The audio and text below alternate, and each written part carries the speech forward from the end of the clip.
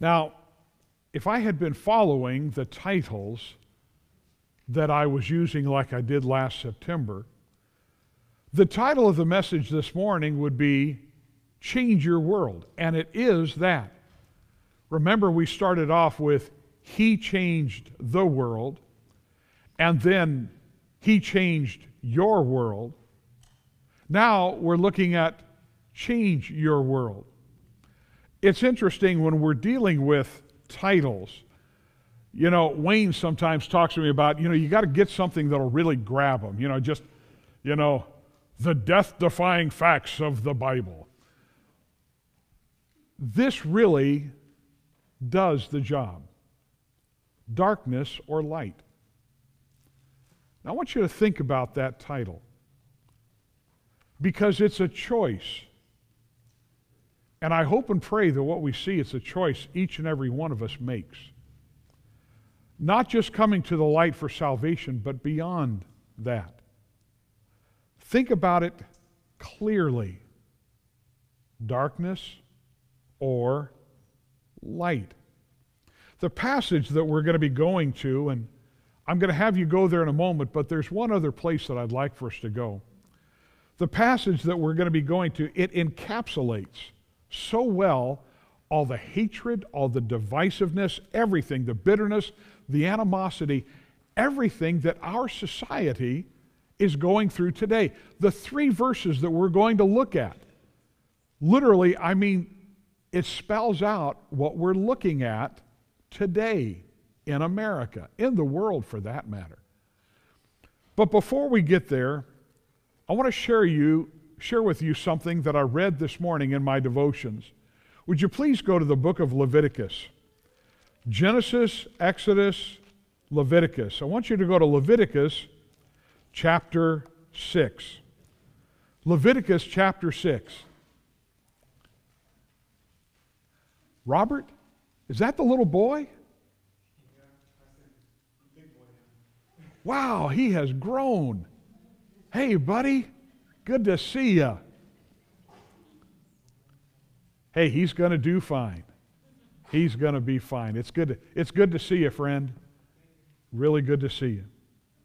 You know, you get into you get into the book of Leviticus and sometimes, you know, we think, well, this doesn't apply to us. And by the way, praise God for the salvation that we have in Christ. He is the fulfillment of it all. Amen. Rejoice in that. But you know, there's times you're, you're reading along and then God gives a verse and it's like, wait a minute, back up. I have got to see that again. I shared this with you years ago. I read it this morning. I want to read it to you again. In the middle of all the detail that uh, Moses is receiving from the Lord concerning the um, uh, concerning all the the animal sacrifices, for which, you know, for whatever, you know, which sin. He says this, you're in Leviticus 6. Go, if you would please, to verse 13. Now, this fire that he's speaking about is the fire where the sacrifice is made. And he says this The fire shall ever be burning upon the altar, it shall never go out. The fire shall ever be burning upon the altar, it shall never go out. I want you to think about that and rejoice in two things. Number one, there will never be a time when, the, when God's forgiveness and mercy go out. There was always a time, there was a fire there. If a Jew came, an Israelite came, and they had a sacrifice to bring because of sin, the fire was there. It never had to be kindled. It will never go out. But while we're rejoicing in that, let's rejoice secondly in this. There must never be a time when the desire and the act of confessing sin and forsaking it goes out. May it never be a time when we quit praying, Search me, O God, know my heart. Try me, know my thoughts. See if there be any wicked way in me, and lead me in the way everlasting. Because with, when that takes place, what do you have? You have a heart that becomes more and more calloused with sin and there's a deadness that comes up. Remember, Romans 6:23 was written to the Christian as much as to the unsaved. The wages of sin is death. You sin, Christian, and the stench of death is around you. Listen, it's not this. You don't lose your salvation. But the power is gone. The light is going out. So praise God that the fire would never go out when Israel was there in the land and as they wandered through the wilderness. Praise God, the fire never went out. If somebody had sinned to confess, they could come. But at the same time, may there never be a time when we get so hardened about our own sin. Are you listening? That means we are keeping short accounts with the Lord. That means we are constantly, Lord, again, search me, O God. This morning, I want us to go back to John chapter 3. And would you please do that? John chapter 3.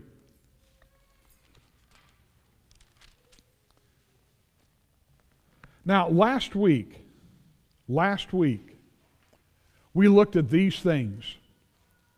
Number one, the visual of his purpose, the visual of the purpose of God. And remember who is speaking here. We're talking about Christ. Verse 14, and as Moses lifted up the serpent in the wilderness, even so must the Son of Man be lifted up, that whosoever believeth in him should not perish, but have everlasting life. That's the visual of his purpose.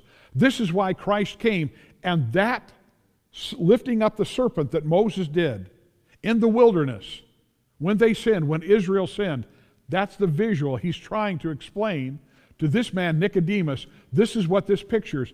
Then there was the vastness of his love that we saw. For God so loved the world that he gave his only begotten Son, that whosoever believeth in him should not perish, but have everlasting life.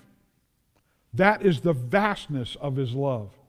Then there was the intent, and by the way, the intensity of his benevolence. Verse 17.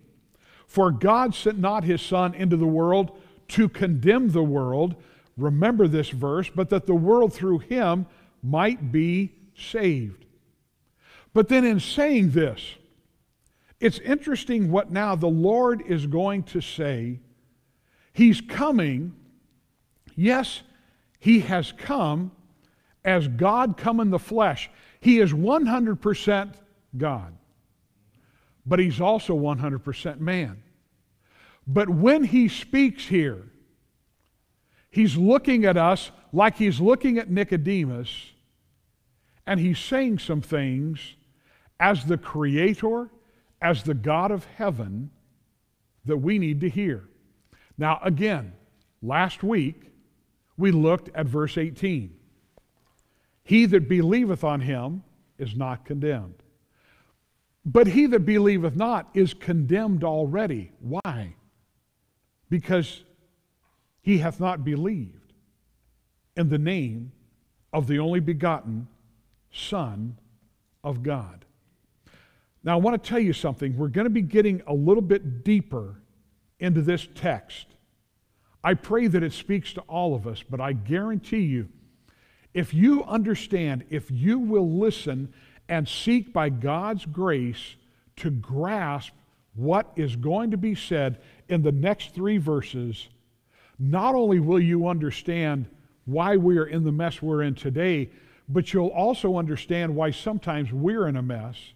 And then at looking at the unsaved, it's like, Lord, why don't they, why don't they hear it? You'll hear it, you'll understand it. But bottom line, what you're going to see this morning is you're going to see the intensity of the spiritual warfare.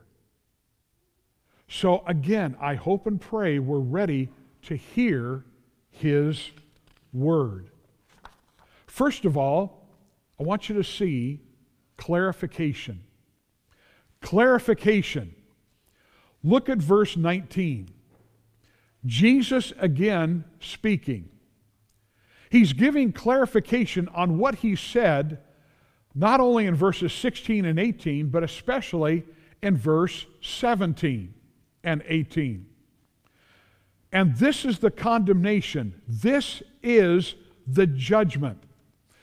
Jesus is giving a direct answer to Nicodemus. Think of it. Think of this moment. The God of heaven is looking at man and he says, This, I'm about to explain it. This is the condemnation. I am speaking as the God of the universe. I am speaking of as creator, as sustainer. I am speaking as God come in the flesh. So the first thing he brings is God's illumination. In clarifying, he brings God's illumination. Look, this is the condemnation that light is come into the world. I want you to go, keep your finger there, just go back a couple of pages. I want you to go to John chapter 1. Look at John chapter 1, verse 4. John chapter 1, verse 4. John writes, In him was life, and the life was the what? The light of man. Now, who's he speaking about? Christ. Look at verse 5. And the light shineth in darkness. Who is the light? The light shineth, Jesus, the light, the light shineth in darkness, and the darkness comprehendeth it not, comprehended it not. Now, we've got to think of what humanity is like. All have sinned and come short of the glory of God. We are reticent about the light, and we're going to see, especially in the Greek, in just a little bit, we're going to see what that means. But he says, the darkness comprehended it not. And then he goes on to say, there was a man sent from God whose name was John, John the Baptist. The same came for a witness to bear witness of the light, that all men through him might believe. Why did the light come? This reason right here. That all men might believe. Believe in what? The light, and what the light was going to do. John the Baptist was not that light, verse 8, but was sent to bear witness of that light. That was the true light, Jesus, which lighteth every man that cometh into the world. God Himself came to dwell with man. Now, now just stop for a second. Say, Preacher, I've heard this so long. Praise God. I'm glad you have. Let's think about it. Because you know something? We can get callous too, can't we? You know, sometimes we've got to stop and we've got to remember what is it that I'm looking at here? God came on earth. I'll never forget when my wife and I were standing in the middle of the synagogue there in Capernaum. Now, I know it wasn't the exact floor that he was standing on. That had been replaced a few hundred years later. But I was in, we were in the very place, the very spot where Christ was, where he taught. And I'm thinking, oh, my soul, this is amazing to think about. Jesus, God come in the flesh, was here. But then again, where two or three are gathered together in my name, he says, There am I in the midst. So let's think about that. Go back to John chapter 1, look at verse 10. He was in the world, and the world was made by him, and the world knew him not. He came into his own, and his own received him not. Now go back to John chapter 3. Think of that. He came into his own, and his own received him not. We're going back to verse 19. Now he had brought, he had brought us his illumination. Light has come into the world. Now we're going to see what we just read in John chapter 1, verse 11. He came unto his own, and his own received him not. There's clarification. And this we're seeing God's illumination, but now we're going to see man's renunciation. And men loved darkness rather than light. There is an explanation here that we all need to understand. The world hated Jesus. The Creator was rejected by the creation because of sin. Jesus, as we read, is the light. He is the truth. Now, that revelation shines in the hearts of mankind. When Christ came, he was the true light. Though light had come and shone the, on the realities of who Christ is and man's need of him. Now, think of this. Though he who was light came and shone, he being the true light, man still rejected him. Let me give a little bit more illustration there. Why is this that took place? Men loved darkness rather than light. You see, when they loved, they loved the darkness with their intelligence. They're just not stumbling. Do you recognize this? Mankind and his sin is going to choose darkness without God drawing us. And by the way, He draws all of us. Psalm 19 the heavens declare the glory of God. The firmament showeth his handiwork. Day unto day uttereth speech. Night unto night showeth knowledge. There's not a place where his voice is not heard. That psalm goes on to say, Understand this, please. The light shineth in darkness, the darkness comprehended it not. They loved the darkness. They made a deliberate choice, and it was done for a deliberate purpose. Whoa, now, preacher, wait a minute. That's not me. Hang tight, please. Let's continue. But you've got to understand, and especially after seeing the testimony of everything that took place in all the Gospels, and for that matter, when we look at our world today, the majority of mankind hears the gospel and they say, no, no, no. The darkness, catch this, please. The darkness is not the mere absence of light. Now, in our world, you know, like if you've gone into a cavern and you've done one of those tours where they'll take you into a cave and then they'll turn out the lights. And I mean, you can't, you know, you can put your hand right here and you can't see your hand. That's not what this is talking about. There's darkness as in an absence of light. This is more than that. The darkness that is sp- being spoken of here, it is the hostile power against the light. Why do you think we see what we see in the world today? Are you listening? When sin comes, it isn't just coming to say and say, well, you know what, I just I just choose to do this. Well, yeah, but the Bible says that's sin. Well, I understand that, and I don't, I don't, uh, I don't believe that. No. If you stand for righteousness, there is a hostility towards you. How dare you try to put on us your ideas? They do it, don't they? And they're going to continue to do it. They do it on television, they do it in entertainment, they do it in print, they do it on the internet. Folks, it isn't just a choice of door number one and door number two. When wickedness came, it set up a hostile environment for that which is righteous. And it's happening today. That's why when men love darkness rather than light because their deeds are evil, well, we're going to see that. It's the specific power of sin and death that actively wars against the light. And friend, you cannot, you absolutely positively cannot have a truce with that which wants to kill you. You can't do it. He that hath ears to hear, let him hear. Let him hear.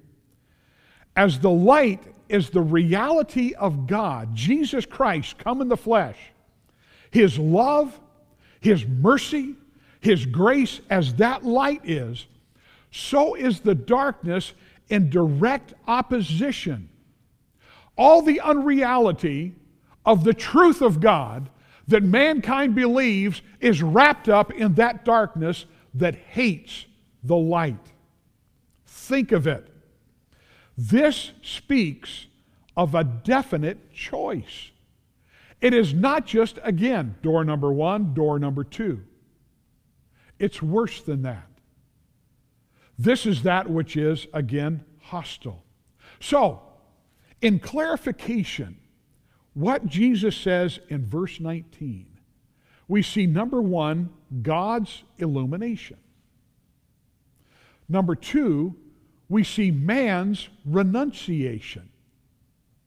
I want you to see number three, sin's manifestation. Sin's manifestation, look at the last part of the verse. Because their deeds were what? Evil. How evil? We're going to see. These that were there at this time when Christ was on earth, the majority of them, unless they were able to get something from God, the, rejo- the majority of them refu- refused to look to Christ as the Jews had looked to the brass serpent that Moses had. These people that rejected Christ, they were staking their very souls on this I am not going to listen. There is, they realize now, in eternity, there was something that within them was unreasoning and unreasonable and telling them, don't listen, don't hear it. Why was this that they were doing this? What does light do? It exposes. Again, you get into that dark place, you turn the lights off. You get into that cave, you get into the closet, wherever you want to get into. But when the lights go out, what's, what's simply put? You can't see. Now, often that's not a good thing. But for the sinner, that's the thing that's desired because their deeds were evil. Sin's manifestation is this it is in direct conflict with the righteousness of God. And so when the light came in Christ, and remember, it's Jesus Himself that is standing before Nicodemus and telling him things he did not understand but He's going to. And we will too, if we will listen to Him. But there's a clarification going on right now. And we need to catch it. We need to see it. Listen, when it says their deeds, this is what it's not talking about. You know, we, we, we get stuff on the internet at times, so this thing called the neighborhood. You know, there was a porch pirate that came and stole some of my stuff. And, you know, somebody came along and they were looking in my windows and really a weird, creepy thing, you know, going on. You read some of that stuff and you think, man, that is so sad. This guy just the other day said, you know, somebody came through and slashed my tires. Uh, what was it, uh, yesterday, Ed, yesterday or the day before yesterday? I think you posted something like that. Somebody came through, they had a bad day at school. A young man had a bad day at school over here in Antelope. So on his way home, he decided to vandalize about a dozen cars. That guy is going to learn what a really bad day is. This is not talking about random acts. When it says their deeds, these are not individual scattered deeds here and there. You know, I did this, I did that. This is the inner nature. This is what they are made of. Remember when you go to Romans chapter 3 and the Apostle Paul, between verses 10 and verse 18, he lists what mankind is about. And you're going, wow, whoa, woo, oh man, look at that. That's exactly what's being talked about here. Because, see, in all of us, our deeds outside of Christ are evil. But these are people that embrace it, and this is how they desire to live. And the less light there is, the more they are bold in their evil deeds. Are you catching what I'm saying? This is why we as believers need to be salt and what? Light. Whose light? His light. But let's keep digging a little bit further. We're not just talking about singular acts of gross immorality. We're talking about ungodliness, not with God at all, self righteous, even religious perversions, carnal and material religious hopes, all of that. These things that are going on there, what he's saying is, this is what I'm all about, talking about the carnal person. Unbelief never means, now listen, unbelief never means that man cannot see the light. Unbelief never means that man cannot see the light. The light cannot be charged with deficiency. Well, you know, the light just wasn't bright enough. Now, watch this. Please catch this. Well, preacher, what about the ones that are living all over the world and they never hear the name of Jesus? The heavens declare the glory of God. Friend, I want you to understand this. Every individual that has ever lived or lives today, God has given light that they can make a choice on. I'm going to believe my Bible.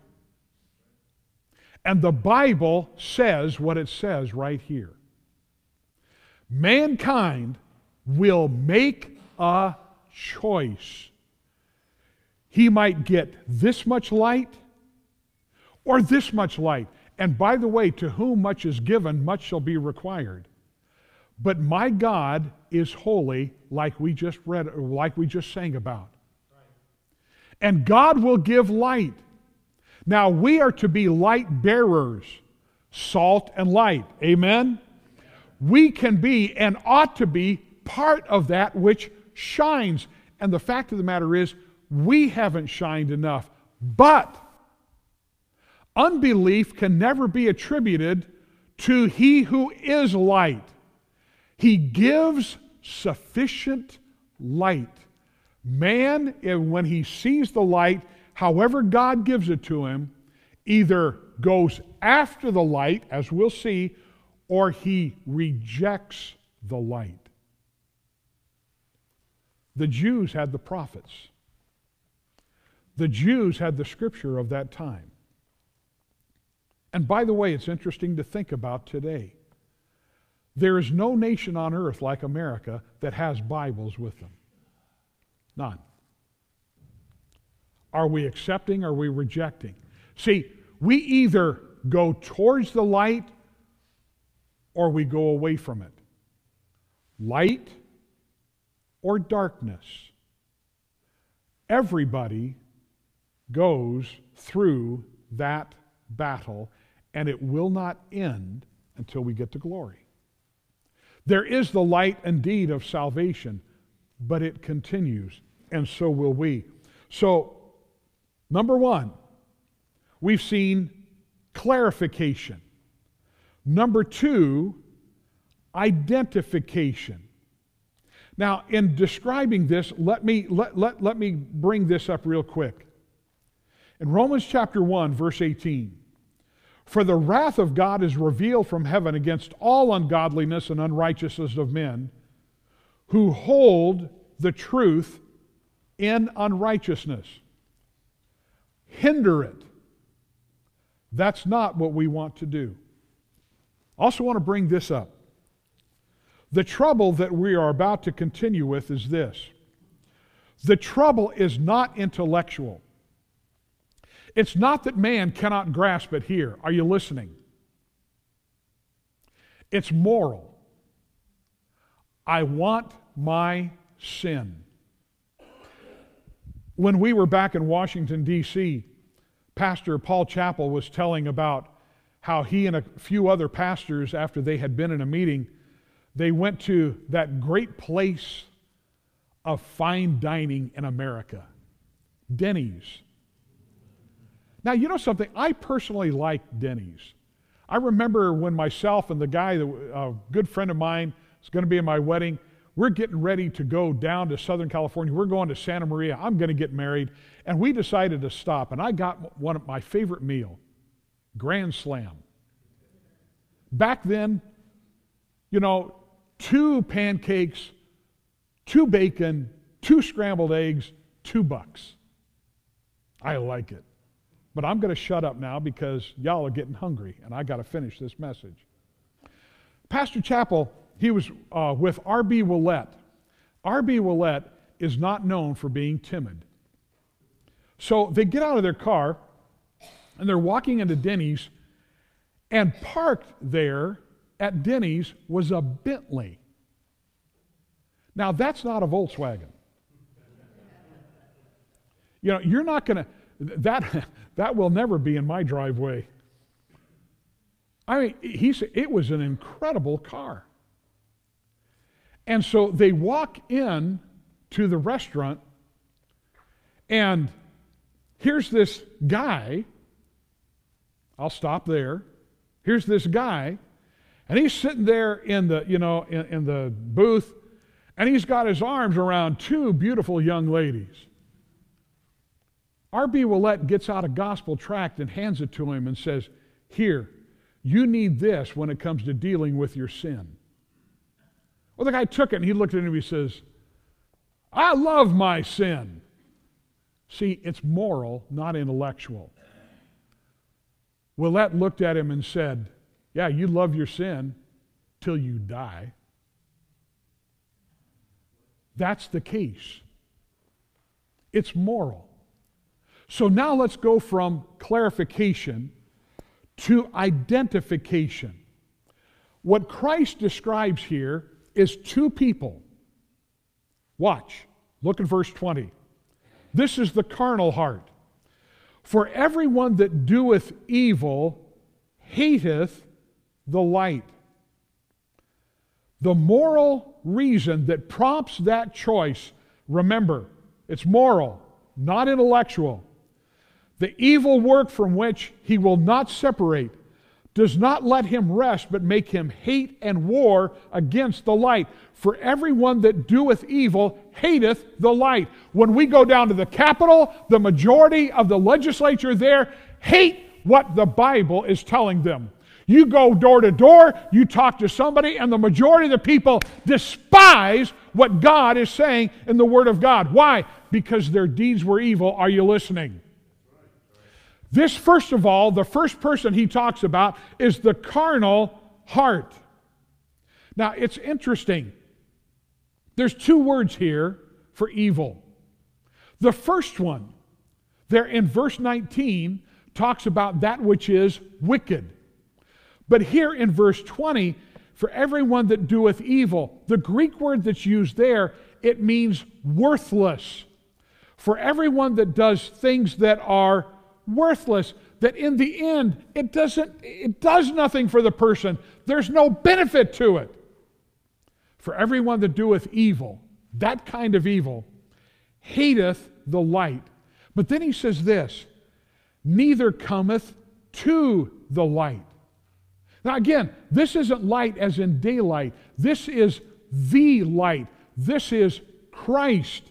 This is the light of divine truth Remember, that's who Christ is. He was full of, again, John chapter 1, he was full of grace and truth. with the person who does these things, there is no neutral ground. There is no, well, you know, I could accept him or reject him. No, no, no. Listen, they hate it. By the way, there is that which is in our heart that does the very same thing. That's why you and I have struggles outside of the power of God with our flesh. Amen? It's there, folks. Now, now we got to start understanding what the Lord Jesus is saying to Faith Baptist today. Because it just doesn't stop with Nicodemus.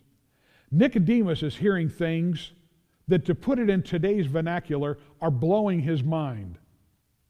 Praise God, he became a believer. But for right now, let's also understand what's being said to us.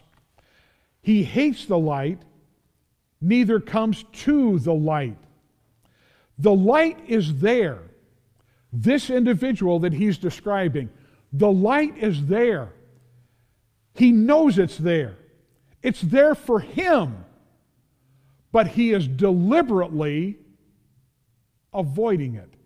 He hates the light. He dreads what the light can do, just like sometimes we get sin in our lives and we dread what might happen if we come to the Lord and we say, you know what? I've sinned. See, this is what we've got to understand. This speaks to us just as much as it does to the unsaved. Christ is talking to Faith Baptist as much as he was talking about Nicodemus. Now, if you don't believe that, you're missing a lot of things when you read your Bible. You're missing it. And it will cost. So please, he that hath ears to hear, let him hear. There's clarification. Now there's identification again. So there's the carnal heart lest his deeds should be reproved. Not merely reproved, but shown to be worthless because of the darkness. And yet they choose the worthless. But they don't want to know what it really is all about. That's why they hate the light. That's the carnal heart. Look at the Christ bearing heart. Look at verse 21. But he that doeth truth, literally, he that doeth the truth, cometh to the light. It doesn't say he that does things good. There can be good things that you do. You can help people across the street. You can feed the neighbor's cat. You can do good things, but that doesn't mean that you're doing the truth. The truth is what came with Christ. The truth begins, well, you'll see it in just a little bit, but it is all wrapped up in who and what Christ is and what he is seeking to describe to Nicodemus, what he has done Again, starting in the first part of John chapter 3 and continuing to now. Let's continue with the Christ bearing heart. He that doeth the truth, literally, cometh to the light.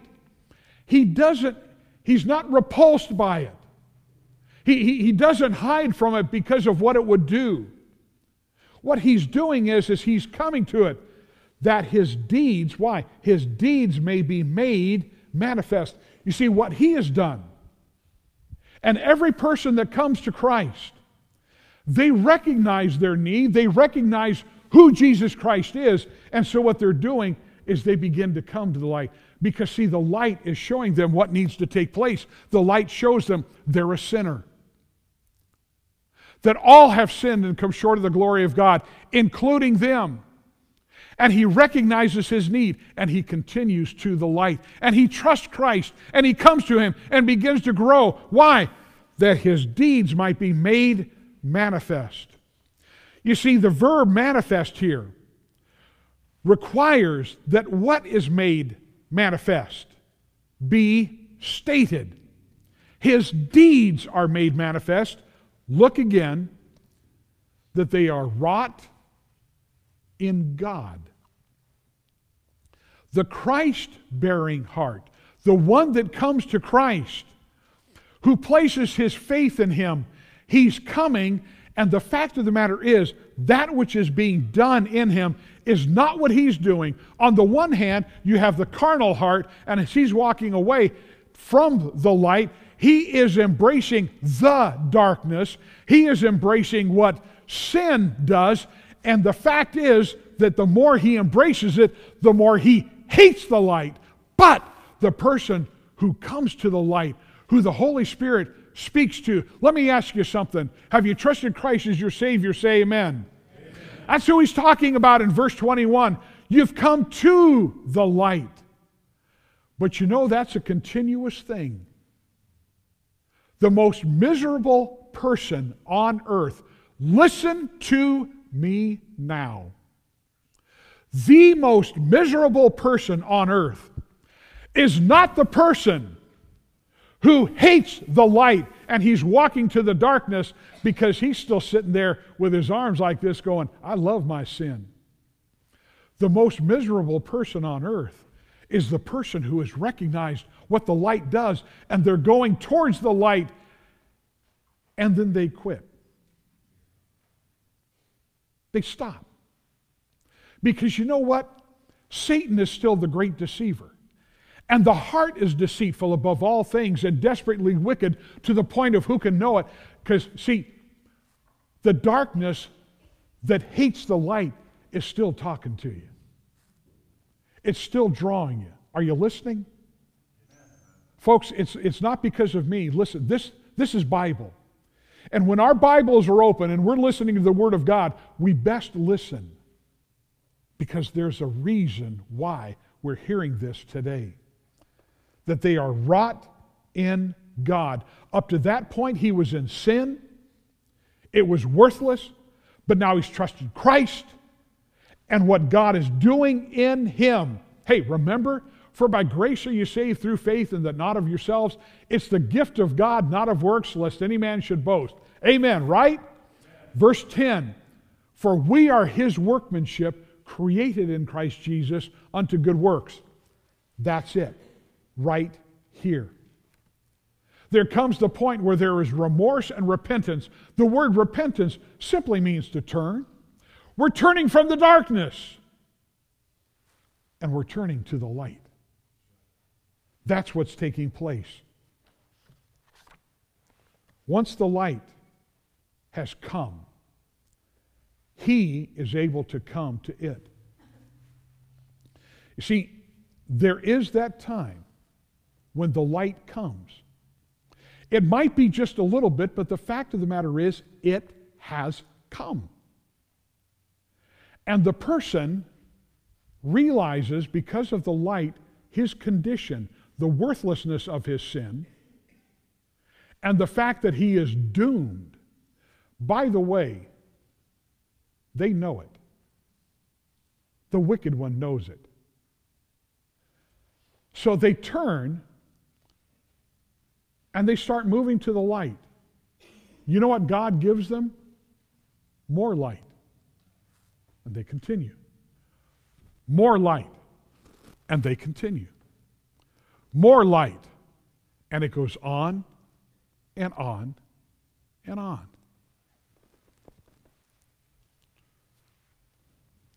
Early in his ministry, and I'll close with this.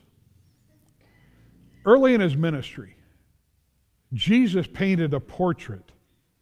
He painted the greatest picture of the individual that we just talked about. I want you to take your Bibles and I want you to go to Matthew chapter 5. Matthew chapter 5.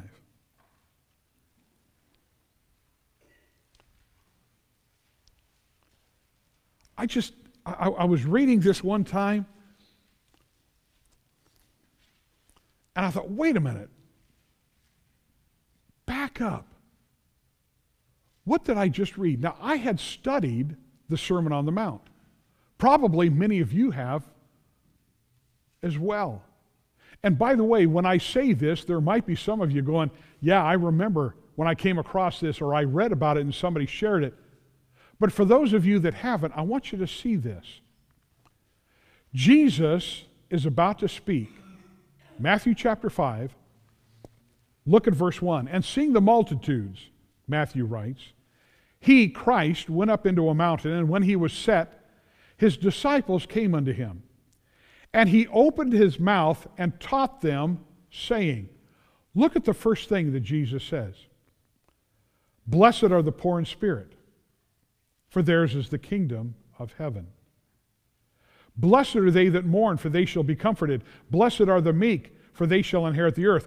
Blessed are they which do hunger and thirst after righteousness, for they shall be filled. And I went, Whoa, hold on. Let's go back to verse 3. Blessed are the poor in spirit, for theirs is the kingdom of heaven. You know who the poor in spirit is? Let me tell you who the, for, the poor in spirit is. The poor in spirit is the one the light shines, and all of a sudden he realizes what I'm doing is worthless. I am empty. I am poor. Blessed are the poor in spirit. When they see this and they turn to the light, guess what they're going to get? The kingdom of heaven. It doesn't stop there. I want you to stop and consider the journey of a person that turns from the darkness to the light. I want you to think about your journey. Look at verse 4. First of all, there's the poor in spirit. Secondly, blessed are they that mourn. You see, the person, when he realizes his sin and its worthlessness and the fact that he's lost, there's mourning. Blessed are they that mourn, for they shall be comforted. Wasn't it great to find out that God so loved you that he gave his only begotten Son? Look at verse 5. Blessed are the meek, the ones that humble themselves under the mighty hand of God. I am coming to you, Lord. I'm confessing my need. I'm confessing my sin. They shall inherit the earth. They're going into eternity with Him. But then look at this. That person has now changed. Remember the light? Blessed are they that hunger and thirst after what? Righteousness. I'm walking to the light. They shall be filled.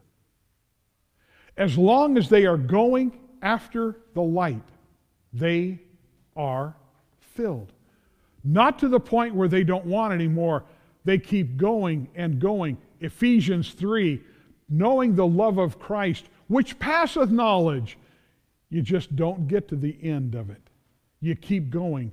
This is the individual that has recognized the light shined in darkness. And in this case, the person answered, This is the Christ bearing heart. This is the person who recognized John 3:16. This is also the person who recognized John 3:18, condemned already. Here I am. What shall happen to me? Hey,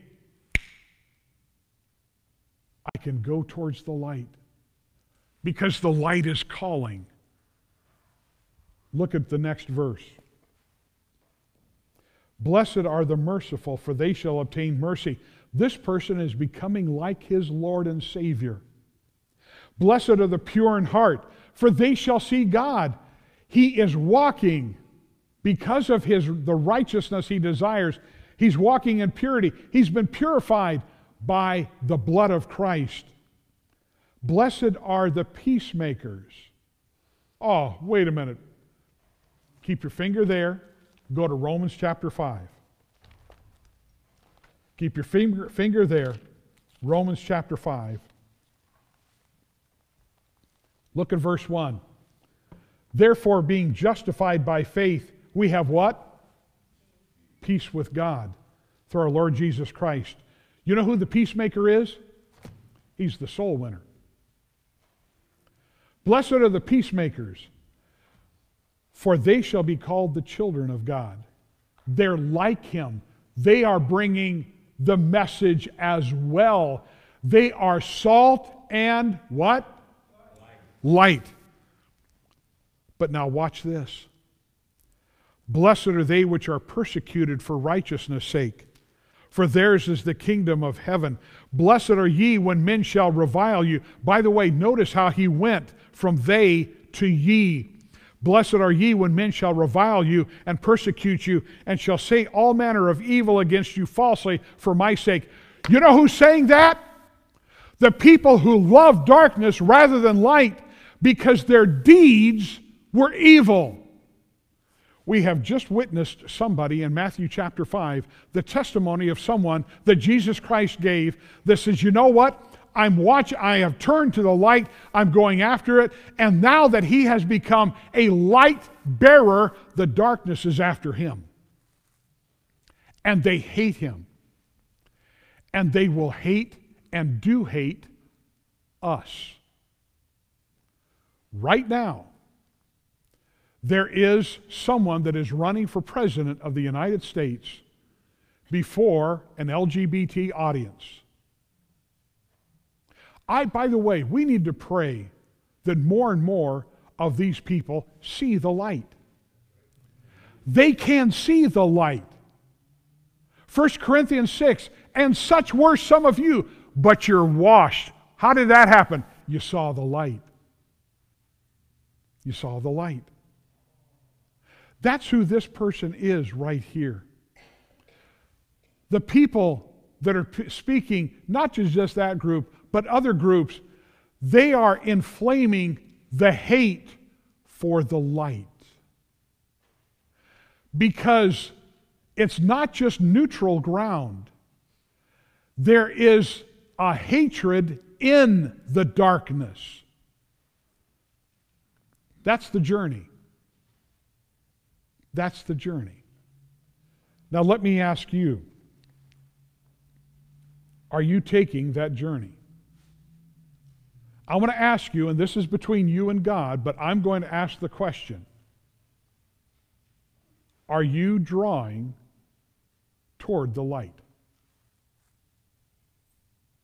Eternity will show.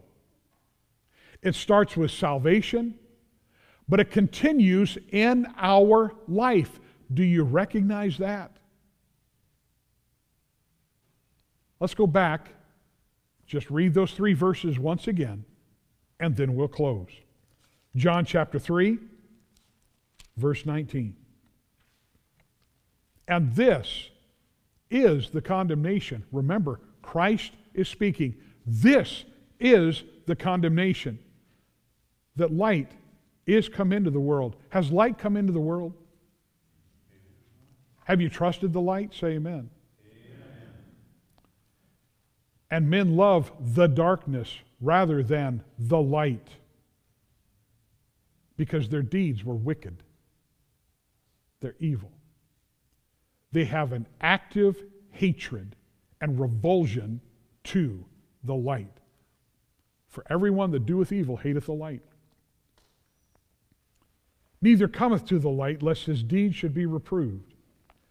But he that doeth, literally, the truth, not just good, but the truth, as it is in Christ, he cometh to the light. That his deeds may be made manifest, it's what he desires. God is glorified, that they are wrought in God. Let's pray.